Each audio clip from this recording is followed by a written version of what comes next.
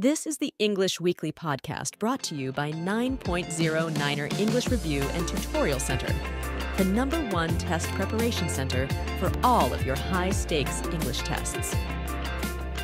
The salary in Australia and New Zealand can hit up to 200,000 pesos, and all you need to do is to prepare for your English exam. It's not just about knowing which sections are included, it can be different for every type of examination. And did I say feedback is important? Alright, so uh, what's the secret? the secret is hello, everyone.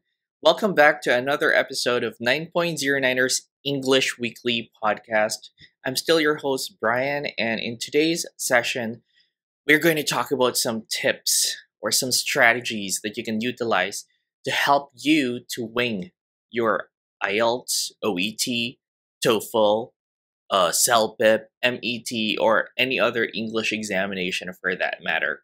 So if you're excited, I'm excited. Let's get started with this. But before I jump into the different tips to help you wing your examinations, I'd like to actually highlight some of the reasons why you should choose to uh, take an English examination this 2024 in particular.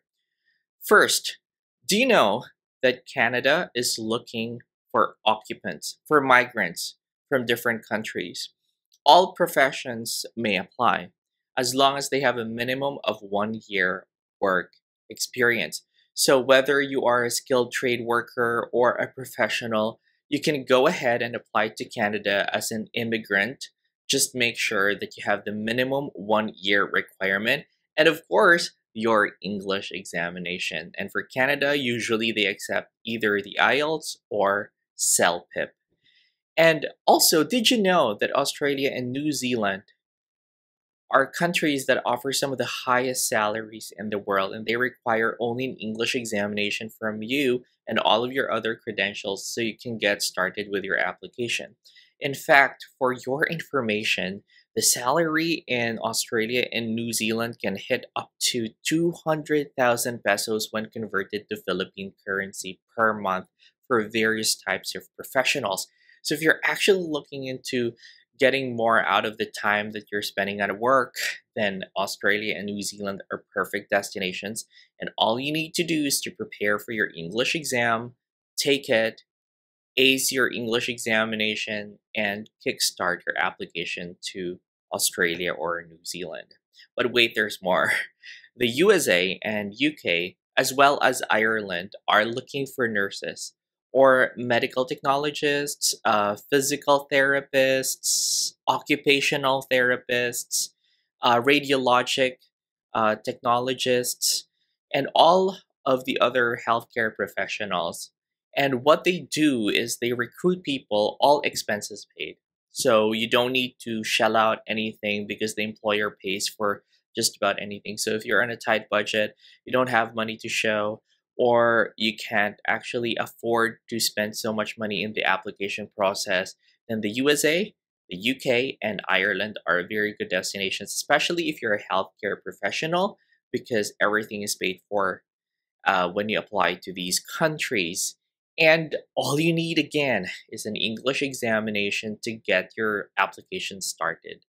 Um, and make sure that you get the target requirements for each one of these each one of these countries because they have different score requirements per country. Finally, Canada, New Zealand, Australia, uh, and the UK are looking for international students. So if you want to go that route and um, you don't have work experience or you are already a bit over age, you can still apply to go abroad because um, these countries that I've mentioned are actually accepting students. There's no age limit for that, and as well as no requirement for any work experience whatsoever connected to your degree or profession. And again, these are just some of the reasons why you should choose to take an English examination this year, especially if you want to kickstart your application to go overseas. If you want to go abroad and change your life for the better, then of course, the most logical option is to take an English examination and get started with your um, application. But Um, when you're preparing for an English examination, it could be very tiring. It could be very draining. It can be depressing, especially if you don't know what you're doing. And that's where 9.0 Niner enters the picture. We have unlimited lectures, one-on-one tutorials, and recorded videos for when you can't attend the live sessions so that you would be able to equip yourselves with the competency you need to ace your English exams. And uh, speaking of acing your English examinations, I'm going to share with you just a few tips that will help you to actually optimize the test performance that you will have on test day.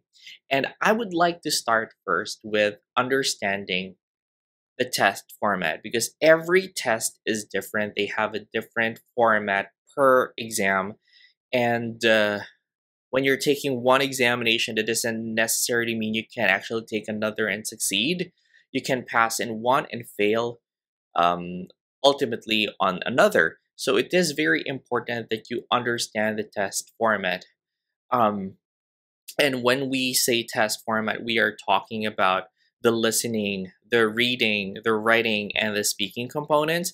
Each of the sections of the test will test a specific language skill and it can be different for every type of examination. For instance, in the reading examination of the IELTS, you will actually have a general passage, but when you're taking the um, OET, for example, you will be reading instead a passage that is not too general, but instead profession specific, something that will probably encompass the kinds of uh, things that you will experience or be exposed to when you're living abroad and working as a healthcare professional. So, in that regard, it is um, quite important to know which sections are going to be included in your examination, and you should also understand the test types or the types of items that you're going to face.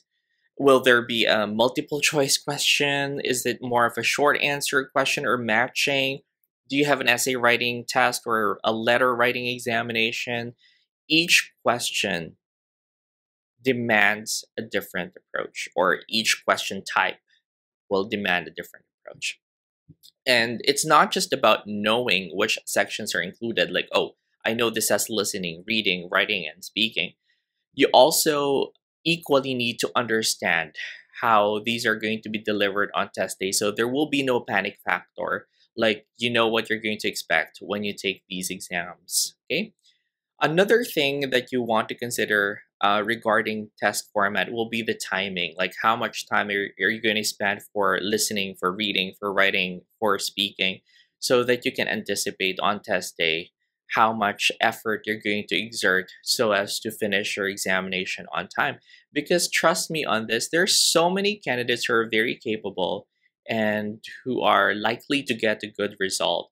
But because of time constraint, they don't get to finish their exams, and as a result, they get very low scores. So that's another one that you'd want to consider when you're taking an English examination.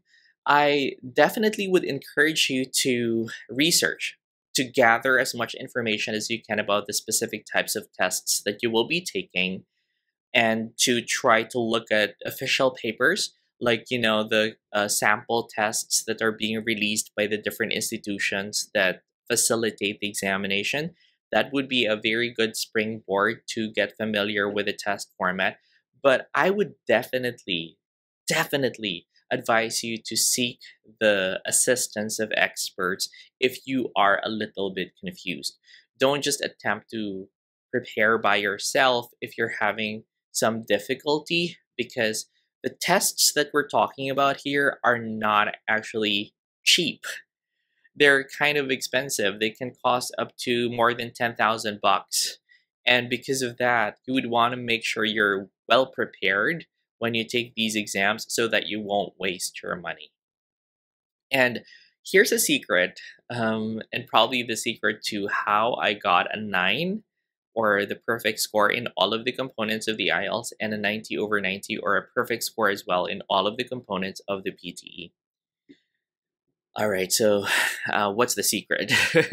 the secret is um, to actually study the band score criteria or to study how you're going to be scored in the test and make sure that everything you do complies with the criteria that you're provided. This you would actually learn from your teachers, especially here at 9.0 Niner. We emphasize the importance of understanding the band score criteria so that you would know how to approach the questions in the test and comply with all of those requirements. That's super important because you don't need to be the most talented, you don't need to be the most intelligent, you just need to be the most strategic candidate when you're taking an English examination. Here's tip number two. I know Filipinos don't like reading, but tip number two is to improve your reading comprehension because it is essential in your examination. Comprehension is super important when you're taking an English examination, particularly when you're taking the reading test. And this skill is not just about understanding the words, but also the context. Like you should learn how to interpret or to analyze or to draw conclusions out of the text that you're reading. It's not just understanding all of the word combinations and all that. You need to be able to understand and comprehend what message the author has um, and what message he or she wants to convey to you. So, um, this doesn't necessarily mean reading novels. You have to diversify your reading materials. For example, you could read novels, newspapers, and academic papers like scientific articles and even essays. Or if you're a little bit lazy, you can just go and scroll on Facebook, try to look for different articles there that you can read that might interest you. And this kind of variety exposes you to different writing styles, to different vocabulary, and um, also gets you to read much faster. That's super important when you're taking an English exam. You need to read fast because you're constrained by time. You don't really have all day or all week to read all of the passages in your test. Usually you have one hour or less. Okay?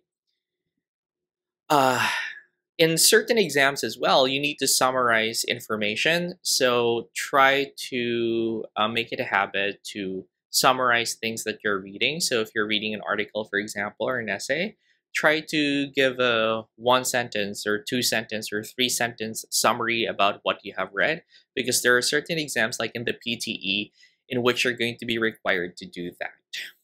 Okay. And um, another crucial aspect when it comes to reading comprehension is your vocabulary.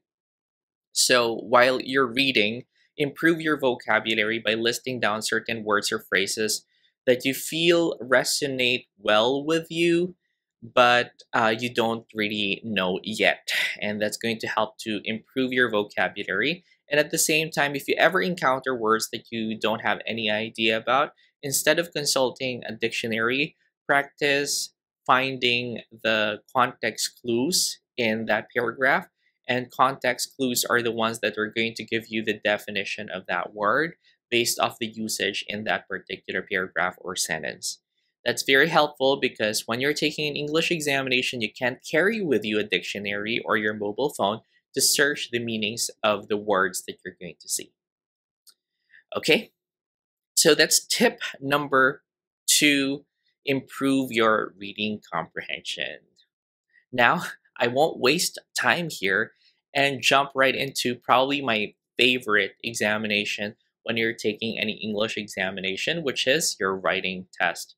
So, to enhance your writing skills, it is actually important to um, improve your coherence, not your creativity it's important to improve the clarity of the message rather than your creativity. Or it's not important to use verbose terminologies or impressive words or idiomatic expressions. The most important or the most vital thing that you should prioritize when you're writing is definitely the clarity of the message that you'd want to convey. So in essay writing, in summaries, or even when you're preparing uh, a letter, the clarity of the message is of utmost importance when you're taking an English exam. this is what I've um, actually learned over time teaching various English examinations. Examiners wouldn't mind if I'm sorry, wouldn't care at all um, if you're using idiomatic expressions or big words or expressive terminologies um, in your writing pieces, examiners would be more interested to know whether they'd be able to understand what you are writing in your letter, in your essay, or in your report. Okay? Also, apart from that, it is very important to have a structure because this is an exam. I mean, it is not uh, required that you use a particular format or an ideal structure when you're taking an English exam. However, you don't really have a lot of time, so you have to develop a strategic structure. A well-structured essay or a well-structured report usually has a clear introduction and um, the clear specific details or the body paragraphs. And um, especially for essays, you need to write the conclusion, okay? Um, and uh, the components or the different things that you're going to be able to see in those different parts of the test will vary depending on the test that you're taking. Again, in compliance with the requirements of the tests that you're taking, right? So that you would definitely learn when you attend lessons at 9.0 Niner because we are uh, advocates of using the correct structure when you're taking the examination to expedite the process of writing in the test and not to make you feel tense or very anxious that you can't finish your examination on time. Another thing would be to improve your written vocabulary. You know, you have to be a little bit more aware of what you're writing and you try to use a diverse vocabulary range so that um, you'd be able to to to show to the examiner that you have a little bit of a more advanced English capacity. Um, and that is usually done by making your um, vocabulary a little bit more varied. And what I mean by that is if you've used a word already, uh, don't try to use it again very closely to that uh, first usage because it will look as if you don't really have any other word in your arsenal or in uh, your memory bank when you're taking the test. So what do you want to do is to space it out. If you've used that word once, then try to use it maybe, you know, a couple of paragraphs away from the first one, okay? And also, uh, I think it's very important to practice under timed conditions. I mean, initially, if you're just learning the ropes and trying to understand the test format, that won't be necessary, but towards the end of your preparation, it is critical that you can already finish your examination on time. Because uh, it's useless that you're able to generate a very uh, well-written response if you can't finish it within the amount of time that will be provided for you during the test. Because if you have an unfinished response, regardless of how beautifully written everything is, you won't expect to get a desirable score in your examination. And did I say feedback is important? Yeah, it is super important because we cannot assess ourselves because we're blinded by our mistakes. like if nobody is going to tell us, oh, this is wrong, then we won't notice it because in our head, everything is right. So it is actually going to be much uh, helpful for you to go and seek the advice of an expert. And here at 9.0 Niner, we have over 100 lecturers and coaches who can assist you in the process of preparing for your English test. You can provide um, accurate feedback on your writing so that you can improve it and uh, amend uh, your mistakes so that when you take the examination, you can preclude the incidence of uh, committing the same errors what I've realized here in the Philippines is that we know how to pronounce various words um, out of assimilation. What I mean to say is we don't really learn the proper pronunciation of words. Instead, of what we do is we try to copy how the word is pronounced based off, you know, the people that we have heard using that word. So, um, yeah, one of the best tips definitely is to um, improve your listening skills and your speaking skills at the same time, like a combo by watching native English speakers. And this will not only improve your oral comprehension, like your ability to understand uh, people in various accents, um, but at the same time also equip you with the correct way of delivering um, uh, sentences in English and at the same time improving your pronunciation. I have a lot of other things I'd want to talk about, but maybe for another episode because we still have plenty of episodes to come, and I'm sure you're going to enjoy the future episodes in which we're going to be talking about more of the strategies and the tips and the approaches that you can use to improve your um, other parts of the examination, like your speaking test. I'm going to be talking about that in a future episode. Thank you so much for listening to this podcast, and I promise to be releasing more of these episodes very soon. Uh, make sure to uh, follow us on our various media handles. And of course, support our podcast at 9.0 Niners so we can keep on creating content like this that's helpful for your English exam preparation. Once again, my name is Brian. I shall see you again next week for another exciting episode. Bye for now.